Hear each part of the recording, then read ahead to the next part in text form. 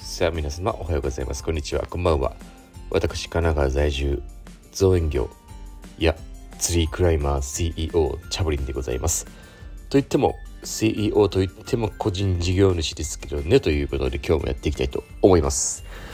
いやー皆様暑いですね。かなり今日も暑かったなというふうに思いまして今ねあのもう寝る寸前の私の収録でございますのでちょっとねいつもの、えー、テンションと違うかもしれないんですけどもね。まあちょっとねご容赦いただいてということで、えー、今日は久しぶりに、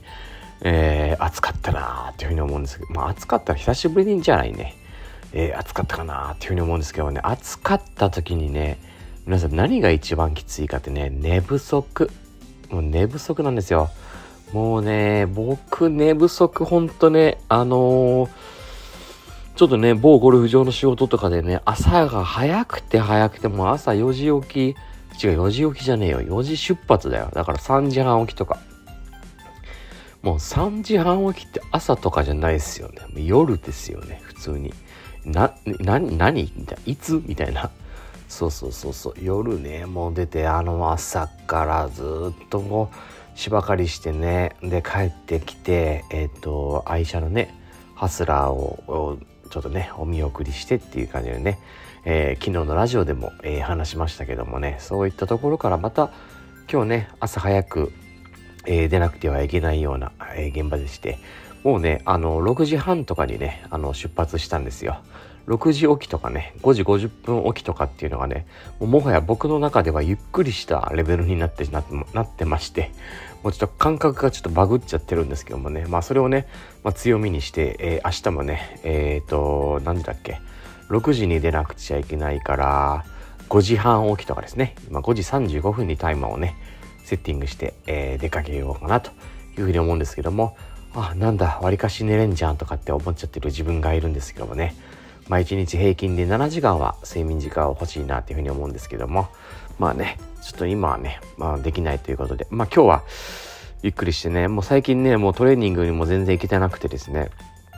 ちょっとここで本当にあの無理しちゃうとですねあのー、なんて言うんだろうな体調崩したりとか怪我につながったりとか、えー、しちゃいそうなので、えー、しっかりね、えっ、と、仕事場で、えー、今まで鍛えてきた筋肉を使ってですね、えー、しっかり運動してっていうところで、で、また、この繁忙期だったりとか、あったかさ、あったかさ、ん？暑さ？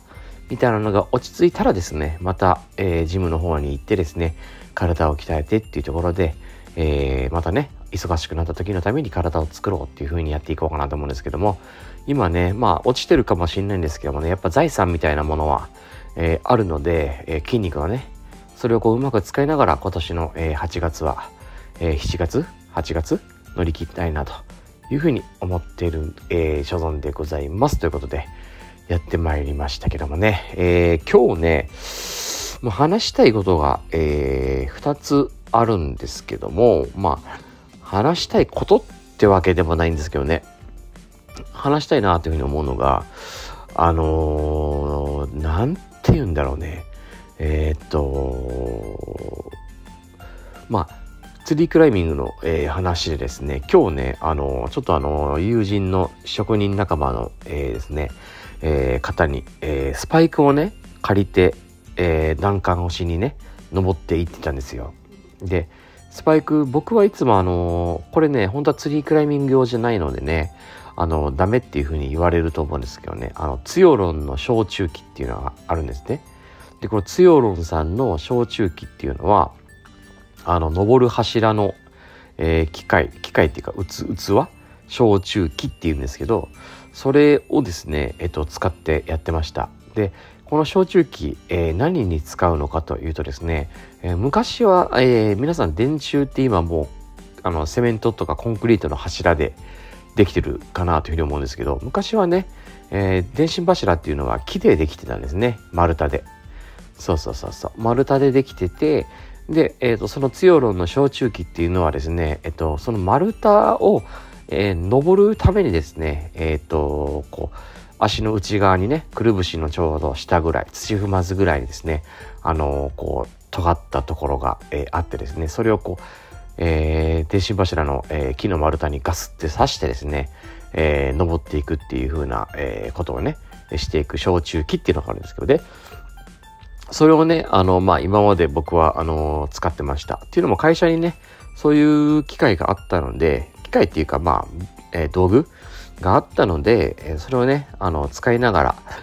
えー、登っては、えー、いたんですけども今日ね、あのー、初めて、えー、ちゃんとこのツリークライミング用のねスパイクがあってそれがね高いんですよね。7万ぐらいするんじゃないかな確か。そうそうそうそう。それをねあのちょっとあの仲間の方からでお借りしてえー、使ってみたんですけどもあのね、まあ、貧乏症っていうわけじゃないんですけどもねあのツヨロンの小中期に慣れすぎてですねそう慣れすぎちゃってあのー、結論から言うとねあのツリークライミング用で作られたその小中期を使うのがですね使いにくかったっていう感じを言うのがなんか正しいのかな。なんかねその針がねスパイクの針がすごい長いやつを、えー、使われててですねそれをちょっとお借りしたんですけどねもうねツヨロンの焼酎機だとえっ、ー、とね何て言ったらいいのかな丸太にしっかり足の裏がちょこっとこうくっつきつつ、えー、しっかり、えー、くるぶしの下の、えー、ところにあるですねトゲがスパイクがグッてこうね、あの木に刺さってでこう足の裏でこうちょっとピタッとこうくっつきながら登っていってるみたいな感覚でやってたんですね今までね。でもそのお借りしたツリークライマーの方のですねえっとそのスパイクはですねあのスパイクの針がすごい長くて今日白樫の木を登ってたんですけど結構ねあの硬くて硬くてでガッてこう力強く刺すんですけどなかなか入らなくてですね、まあ、入るっちゃ入るんですよめっちゃは尖ってるんで入るっちゃ入るんですけど入ったはいいんだけどそのスパイクがえっとその刺さりきってるのかどうか分かんないというか何て言ったらいいんだろうな。あのツヨロンの小中期だと足の裏がちょっとこう添えることができるぐらいまで、えー、スパイクの、えー、長さが短いんでそれでね、えー、やっていけるんですけどそのスパイクの、ええー、針がですね長いとですねそのスパイクえっ、と何て言うんだろうな。樹木と足の裏の間に隙間ができちゃうみたいな。で本当にスパイクだけにこう全体重が乗っかってるみたいなこう状態になった時にあのー、切れ味すごいあのー、綺麗でねいいなというふうには思うんですけどちょっとね僕的にはちょっとねグラグラしちゃって怖かったんですよね。そうわあこういうのがあるのかとかと思いながら。で白樫の木がね、えっと、直径あっても30センチとか、25センチとかになってきて上に行くとね25センチ20センチとかになっていく中でその細いところにですね、この長い針をですね、こう刺していかなくちゃいけないっていうのは結構怖くて、っていうのも、あの長い針がこう自分の足に刺さっちゃったらどうしようっていう、こう、ちょっとだけ恐怖があったりとかしてですね、そうそうそう、結構怖かったっていう話で、まあ、あのー、針がね、すんごい尖ってたんで、あの、グッてこう、落ち着いて刺せば、えー、しっかり刺さってくれて、え、ー、と、なんかこう、ずり落ちたりとかすることも一切なかったんですけどね。そうあのまあ強論の小中期でもそういうことはないんですけどそうそう結構ねそういうことがあのあってですねあなんか貧乏症じゃないけどこう強論の小中期で慣れてしまったからなんかこう本当に本当にこうツリークライミングのために、えー、作られたようなこのスパイクを自分が使うとこうなんかこう持て余しちゃうというか感覚がどうも鈍っちゃうなみたいな感じでちょっと思ったっていうね、えー、話なんですけどもね、まあ、無事にね頭を、えー、落としてですね今日はあの棒にして、えー、作業を終了したわけなんですけどもね。そういえー、しっかり段階の方は進めることができてよかったかなというふうに思うんですけども。いやーなんかねこう安かろう悪かろうっていうのはもちろんね僕何回も経験してるんでわかるんですけどそのスパイクね7万ぐらいするんですよ確か。それをねこうまあ、なんと、慣れなのかなわかんないんですけど、それをこうね、あのー、使わせてもらった時にね、えー、これ結構どうなんだろうなっていう、慣れたら使いやすいのかなとかって思いながらね、あの、まあ、人、お人様のね、ものなのでこうちょっと遠慮しちゃったりとかすることもあったかなというふうに思うんですけどもそれでもちょっとこうでも強路で慣れすぎちゃってそうどうなのかなとかって思いながらね皆さんどうですか？あの弾丸する時とかスパイクで、えー、小中小中されるかと思うんですけどまあ登る木小木というんですかね？あのされると思うんですけどね。どうですか？僕結構ねあのー、針が長いのがもしかしたら、えー、苦手なのかもしれないです。まあただあのー、ねあのクライミングでスパイクで登っていくっていうのは基本的にあの大きすぎてもだるいけど大体、えー、直径が大体50センチの木とかだとめちゃめちゃ登りやすいじゃないですか。幹周が大体えー、3.14だからまあ3だから150とか。それぐらいの木って結構あの登りやすかったりしますよね。でもちっちゃければちっちゃくなるほどこう何て言うんだろうな。あのまあスパイクと安定するのが難しくなってきたりとかしてですね。結構怖かったりする怖かったりするっていうかこうあの怖いっていうのがあのあれね足が足に針が刺さるんじゃないかっていう怖さね。そっちの方があったりとか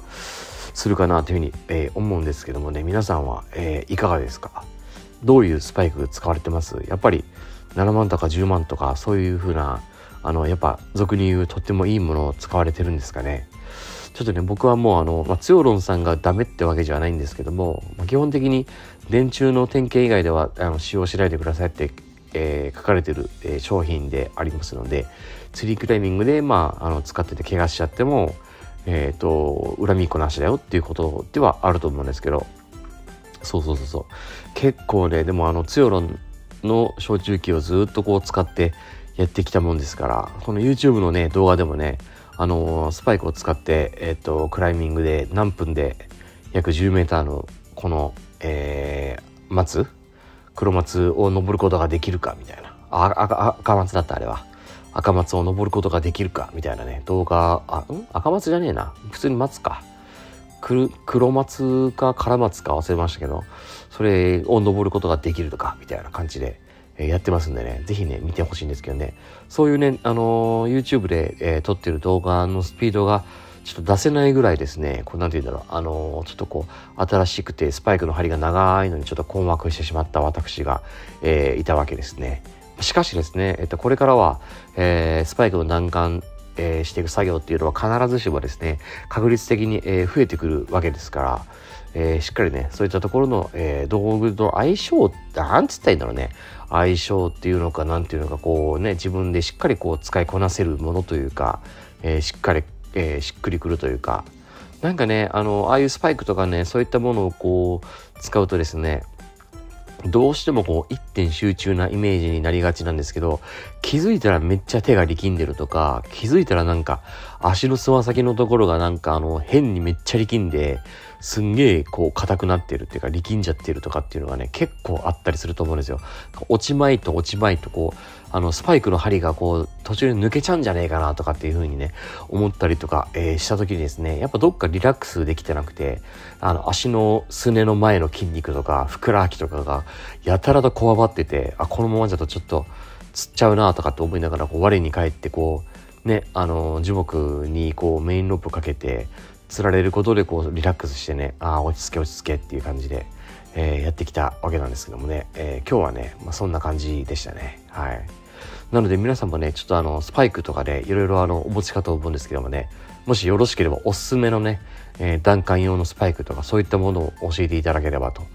いうふうに思います。僕はツヨロンさんのね、焼酎機を使ってるんですけどもね、あの、なんかね、あの、ちょっとチープな感じがして、すごいシンプルな作りではあるんですけど、わりかしね、あの自分の足にはこうフィットしてたんですね。ただ、えっと、なんて言ったらいいんだろうな。あの、やっぱり、えー、長時間、えー、機能で作業するように作られてはないので、えっ、と、うちの、えー、内側のすねとかふくらはぎに当たるところがですね、あの、ズボンの質だったりとか、えっ、と、環境によってはですね、汗で蒸れたりとか、えっ、と、硬いえー、鉄板が当たり続けてこう擦れて痛くなってくるとかね全体重がそこに、えー、差し掛かるわけですからそれに耐えれなかったらね結構使えないよみたいなことがあったりとかもするので皆さんね、えっと、いろんなお好みがあるかと思うんですけども是非ね気をつけていただいて自分の感想としてはそういう感じかなというふうには思うんですけどもねはい。てな感じでね、ごめんなさいね。スパイクをちょっとね、本当にあのツイクライミング用のスパイクを、えー、使ったら、思思ったよりも、えー、自分のイメージとはかけ離れてしまっていたっていう、えー、感じで、えー、ございますね。ちょっとまあね、人様のやつだから遠慮したっていうのも本当に確かにあるんですけども、それのところがちょっとね、まだまだダメだったかなというふうに、えー、思いますね。はい。てな感じでね、また、えー、スパイクの道具だったりとか、クライミングの道具とかね、お悩みだったりとか、感想っていうのをね、皆さんと、えー、共有していきたいなというふうに思いますんで、皆さんもぜひ、えー、教えてみてください。コメントでね。今ね、マジでね、これ嘘じゃないですよ。話しながら今ね、寝かけてた。マジで。危なかったっす。何で喋ってるかわかんない。ちゃんと喋れたかなちゃんと喋れてたでしょうか、私。今ね、ほとんど覚えてなかったよ。マジで。